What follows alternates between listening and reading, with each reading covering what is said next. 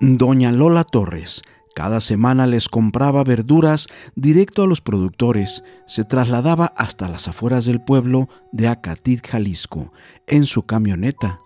Un día tuvo la necesidad de hacer una parada de emergencia en medio de la carretera, en una pequeña casita, donde en la parte de atrás estaba el baño y a un lado de ahí descubriría algo tan impresionante que tuvo que avisarle a los dueños, que es cuando sucedería lo inesperado e increíble. Aquí esta gran historia.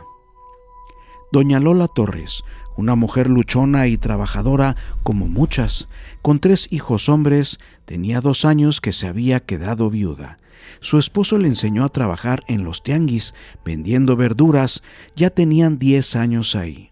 Y con muchos clientes, sus hijos de 10, 13 y 15 años Tuvieron que ayudar a su madre Lola, pues las cajas de verduras eran muchas y estaban pesadas. Casi siempre la acompañaban a traer la mercancía en su camioneta a 40 kilómetros de Acatic. Ella les compraba a los diferentes agricultores de la zona, entre hortalizas y muchas verduras. Siempre cargaba su camioneta hasta el tope. Esta labor era ardua, misma que tenía que hacer cada tercer día pues sus clientes del mercado le exigían verdura fresca siempre. Su negocio iba creciendo cada vez más. Incluso ya tenía contemplado poner otro negocio de verduras en una colonia de Acatic. Aunque su formación siempre fue humilde y sencilla, ya que venía de las familias purépechas de Michoacán, su esposo era de Jalisco y también era del rancho, los cuales se acostumbraron a la vida rural y vivían de lo que el campo les proporcionaba hasta que se casaron y pusieron el negocio de verduras. Su esposo era el que manejaba siempre, pues Lola nunca aprendió a manejar, decía que le daba mucho miedo, así que el hijo mayor tenía 13 años cuando tuvo que aprender a manejar la camioneta. Ahora que tiene 15 ya nadie lo para, hasta quiere comprarse una para él solo. Era un día el cual tocaba ir a surtir verduras y como siempre llevaba a sus tres hijos para cargar. Pero de ida, como a 10 kilómetros afuera del pueblo, se establecería un retén de fuerza militar. A Lola le dio algo de temor, pues su hijo que iba manejando la camioneta no tenía licencia y se veía muy chico aún. Con los nervios de punta, los paran en el retén el soldado no le pidió la licencia ni nada, solo le preguntó que a dónde se dirigen. Lola contestó que eran de ahí de Acatic y que se dedicaban a la compra y venta de verduras en el mercado de Acatic. Los soldados vieron todas las cajas que traían cargando atrás, los observaron bien y les dicen que pasen. Tal vez ellos saben quién es quién, no le dijeron nada de su hijo menor manejando. Después de casi cinco horas escogiendo y cargando la mejor verdura fresca de los agricultores directos, llenan la camioneta hasta el tope. Cuando ya venían de regreso a Catic, a medio camino se le ocurre hacer una parada de emergencia a Doña Lola. Vio a lo lejos una pequeña casita de adobe donde vendían frutas afuera y le dijo a su hijo que llegara ahí y que hiciera el alto para pedir permiso si la dejaban entrar al baño cosa que así fue. Cuando llegó a esa casita, doña Lola se sorprendió al ver a dos adultos mayores ya de avanzada edad, vendiendo sus frutas en la orilla de la carretera.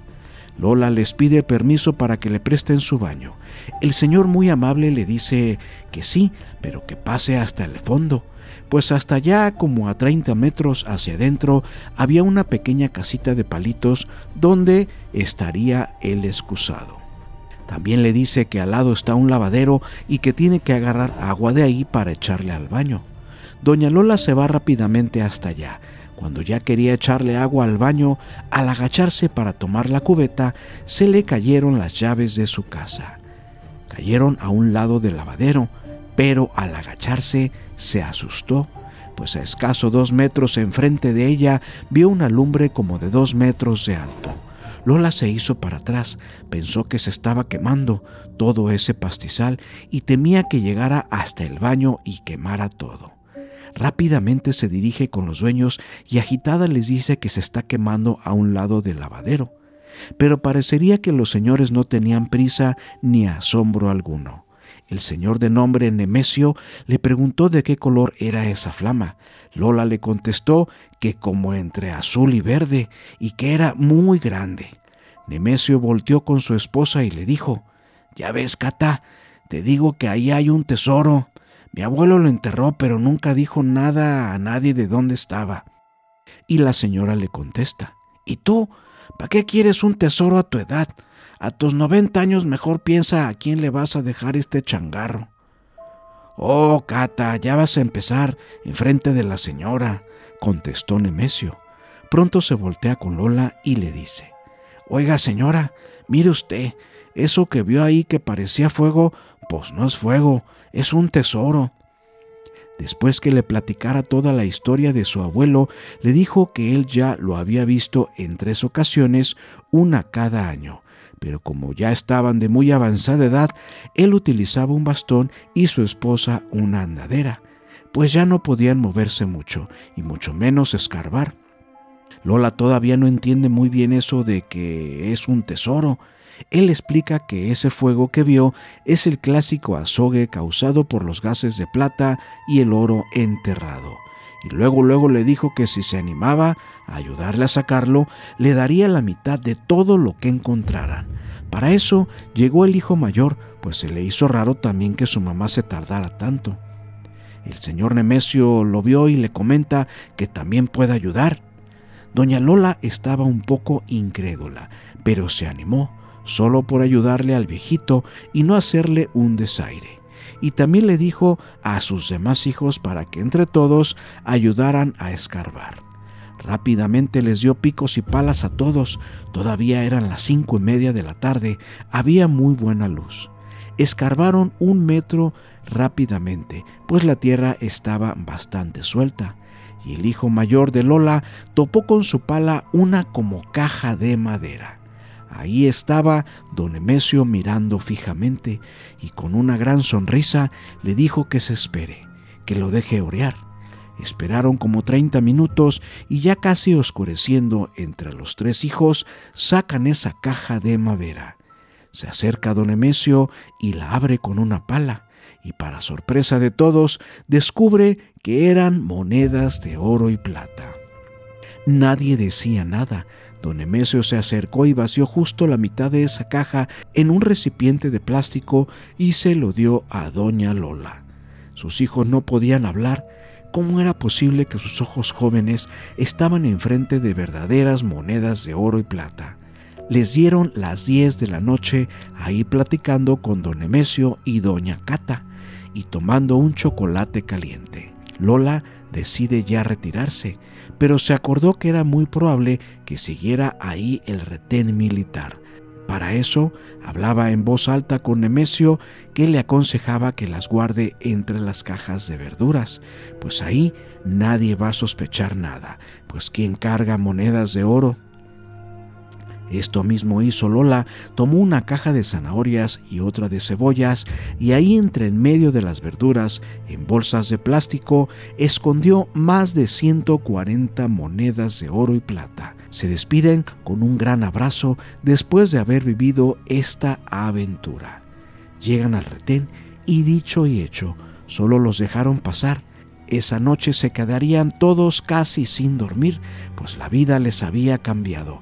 No sabían el valor de esas monedas realmente hasta después. Pero Lola, desde el día siguiente y cada tercer día que pasaba por ahí, visitaba a don Nemesio y doña Cata, pues sabía que estaban solos. Ellos les platicaron que tuvieron dos hijos, pero que uno falleció y el otro se la pasaba viajando de trailero. Doña Lola les llevaba de comer, se hicieron muy buenos amigos. Lola tenía miedo de llevar esas monedas al banco o a algún joyero y las guardaría por seis meses más en su casa. Todas esas monedas. Ninguno de sus hijos le dijo algo, pues todos estaban acostumbrados a trabajar.